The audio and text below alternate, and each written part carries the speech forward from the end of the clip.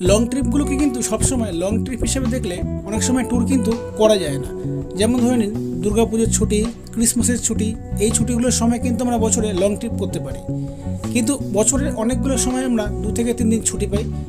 কাজে সেই ছুটিগুলোকে যদি আমরা ব্রেক বাই ব্রেক করে পার্ট বাই পার্ট লং ট্রিপগুলোকে আমরা করতে পারি, তাহলে কিন্তু অনেক সময় আমাদের অনেক জায়গা ঘুরে দেখা হয়ে যায়। আর ঠিক সেই জন্যই আমি এই বছরে থেকে তিন দিন দেখলাম অনেকগুলো ছুটি রয়েছে। তার মধ্যে একটি দিন বেশি আমি বেরিয়ে পড়লাম রাত আটটা পঁয়ত্রিশের কাঞ্চনকন্যা এক্সপ্রেস ধরে ডুয়ার্সের উদ্দেশ্যে। Nearest station New Mal junction সকাল নটা পাঁচে আমাদের নামিয়ে দিল। সেখান থেকে আমরা রিজার্ভ করা গাড়ি নিয়ে চলে গেলাম সোজা লাটাগুড়ির উদ্দেশ্যে, যেখানে আমাদের হোটেল আগে থেকেই বুক করা ছিল, একদম ফরেস্টের মধ্যেই বলতে গেলে। হোটেলে ঢুকে প্রথমেই ফ্রেশ হয়ে নিন। ফ্রেশ হয়ে লাঞ্চ সেরে আপনারা যেতে পারেন দুপুর দুটোয় একটি ফরেস্ট সাফারি হয় জিপ সাফারি যেটি, সেটার জন্য। যদি চান, বিকেল চারটের সময় একটি সাফারি হয়, সেটাও আপনারা অ্যাটেন্ড করতে পারেন। টোটাল সারাদিনে চারটে থেকে পাঁচটা সাফারি হয়। সকাল সাড়ে ছটায় একটি, সাড়ে আটটায় একটি এবং এগারোটায় একটি, তারপরে দুপুর দুটো এবং চারটের সময়। তো যে কোনো একটি সাফারি আপনারা এর মধ্যে করতে পারেন। টোটাল ভাড়া পড়বে দু হাজার টাকা। ছজনের জন্য একটি জিপ তো আমরা লাঞ্চ সেরে চলে গেছিলাম সাফারির উদ্দেশ্যে।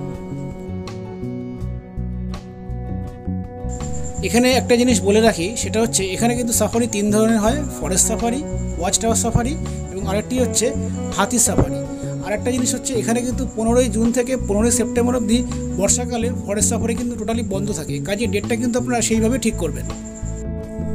সাফারি সেরে বিকেলবেলা কিন্তু আমরা ট্রাইবেল ডান্স দেখে হোটেলেই আমরা স্টে করেছিলাম।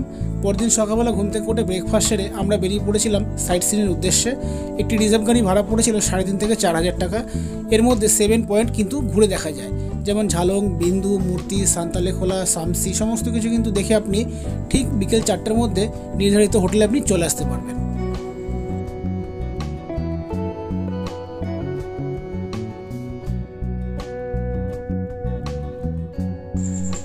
এখানে একটা জিনিস বলে রাখি, যেহেতু আপনাদের two night three days tour plan হচ্ছে, সেখানে কিন্তু আপনারা প্রথম দিন ডুয়ার্সে পৌঁছে ফরেস্ট সাফারি করলেন সেকেন্ড দিন কিন্তু আপনারা সেভেন পয়েন্টটা একসাথে করতে যাবেন না, তিন থেকে চারটে পয়েন্ট করবেন, যেমন মূর্তি, ঝালং, বিন্দু, এইগুলো করে নেবেন। লাস্টের দিন আপনারা চেষ্টা করবেন লাঞ্চ সেরে বেরিয়ে পড়ার, কারণ লাঞ্চ সেরে আপনারা কিন্তু বাকি যে সাইট সিনগুলো রয়েছে, যেমন ধরে নিন সান্তালেখোলা সামসি, রকি আইল্যান্ড এইগুলো করতে করতে কিন্তু রাতে যখন আপনার ট্রেন থাকবে, সেই ট্রেনে কিন্তু আপনারা নির্ধারিত টাইমে স্টেশনে পৌঁছে যাবেন। আর কোনো ধরনের কোনো ইনকোয়ারি দরকার হলে আপনারা কমেন্ট করবেন, আমি রিপ্লাই দেবো। আর যদি কোনো ট্যুর প্যাকেজ বুক করতে হয়, আমরা যেমন করেছিলাম পালকি ট্যুর অ্যান্ড ট্রাভেল কলকাতা থেকে, আমি নাম্বার স্ক্রিনে এবং ডিসক্রিপশন বক্সে দিয়ে দেবো। সেই নাম্বারে আপনারা ফোন করে ওখান থেকে কিন্তু প্যাকেজ বুক করে আসতে পারেন। ভিডিও ভালো লাগলে অবশ্যই লাইক করবেন কমেন্ট করবেন কেউ জিজ্ঞাসা করার থাকলে অবশ্যই আদারওয়াইজ ভিডিও কিন্তু সবাইকে শেয়ার করবেন।